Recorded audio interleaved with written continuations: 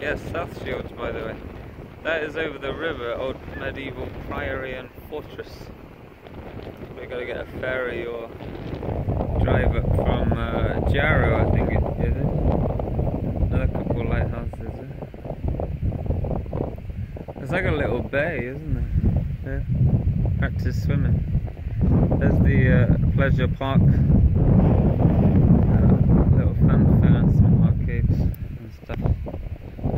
wife looking for hedgehogs.